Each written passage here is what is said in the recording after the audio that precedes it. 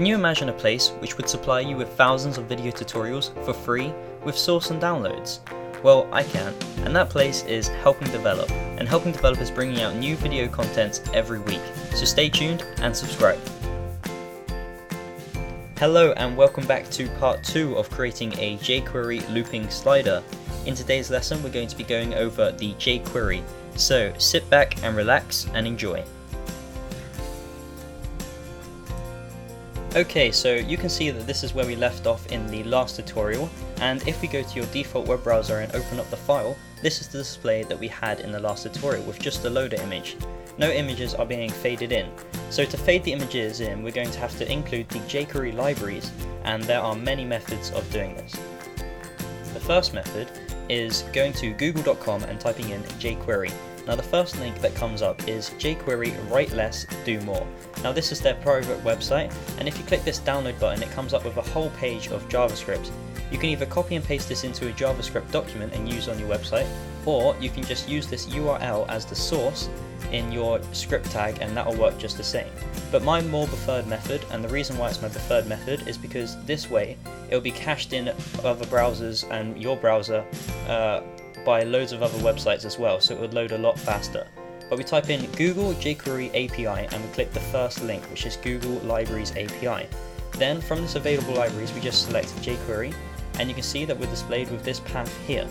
Now what we're going to do is we're going to copy this path, and in Dreamweaver we're going to type out the script tag, and type equals text slash JavaScript as that's the type we're using. Then the src standing for source, we're just going to paste that path in, and then we close the script tag. Right, we're also going to be including the jQuery UI, which is user interface. This will allow smoother and faster animations. So we're just going to copy this path just like we did with the jQuery, and we're going to include it in with this exactly the same way. So script type text slash JavaScript and src will be this time with the jQuery UI path. And we're going to close that script off. Now we're going to open up one last script tag now you have an option to either make a JavaScript document and include it via your source, or like me, you can just do it on the same page, which is what I'll be doing in this tutorial. Now the first thing we're going to have to do is we're going to have to create a function to run when the body is loaded.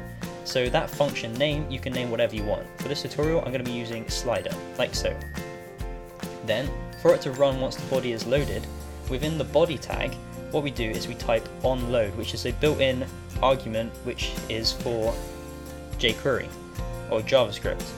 And we're just going to onload the slider function when the document loads. Right, so you can see that if we go here, we want to fade in the first image.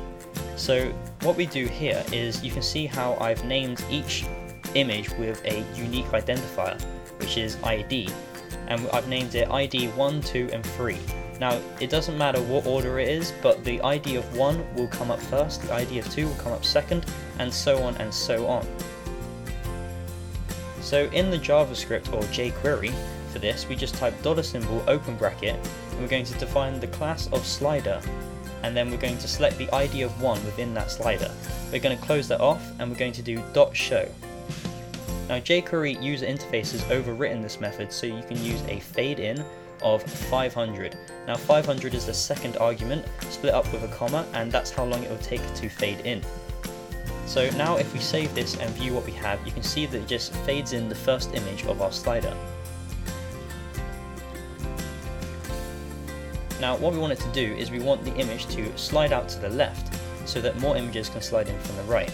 So what we're going to do now is we're going to do dollar symbol, open bracket, double quotation marks. Within the slider class, we're going to define the ID of 1, and this time we're going to do dot delay, and we're going to delay it for 5,500 milliseconds.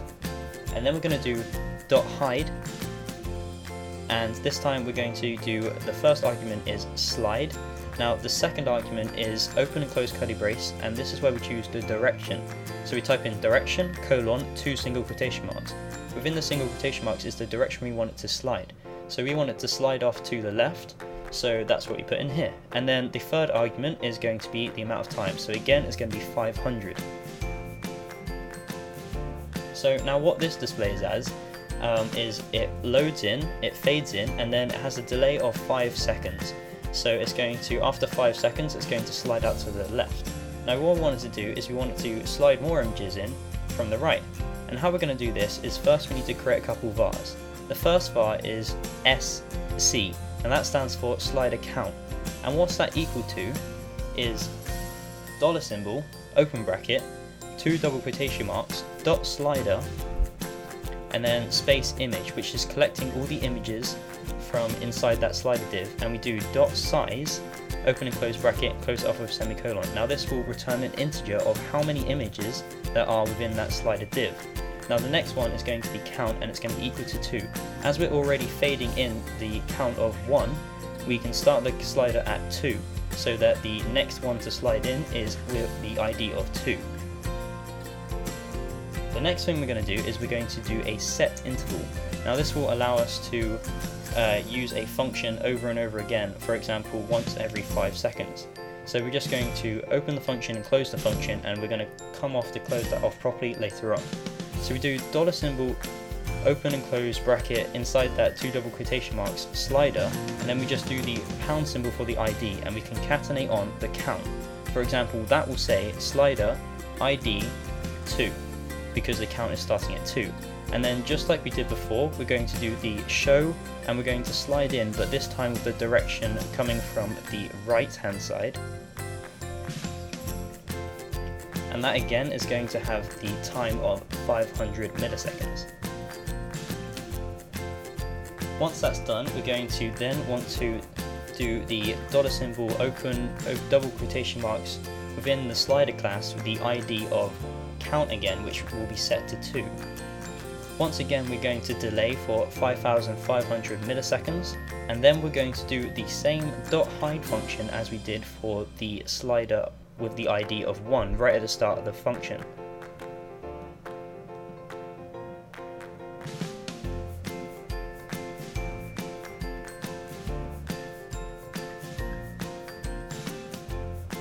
Now we're going to do a if and else condition here.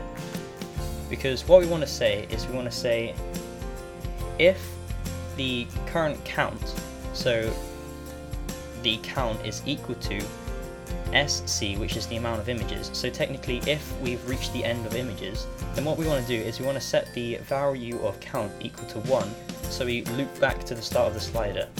Else, if we're not, then we're going to do count plus 1, so that we go on to the next image so count equals count plus 1. Then, if you see here, we have 500 and 500. Now that takes up a total time of 1000 milliseconds. And if we plus that onto this delay, it equals 6500 milliseconds. So we're going to do, we're going to type a comma here, and then we're going to put 6500 milliseconds and close off the function. That way, this here will run every 6500 milliseconds. So now let's go to the browser and let's refresh. And you can see that the first image fades in fine, and after a total time of 5,500 milliseconds, the second image fades in, or in fact slides in. And then after another 5,500 milliseconds, the third image slides in. Now instead of it stopping here, what it does is the count gets reset to 1 and it goes back to the start of the slider. Now you can have as many images within your slider class as long as each has the ID of for example 1, 2, 3 and 4, it should work. So this is the jQuery sliding and looping tutorial. I hope you've enjoyed this tutorial. Don't forget to like this video, comment below and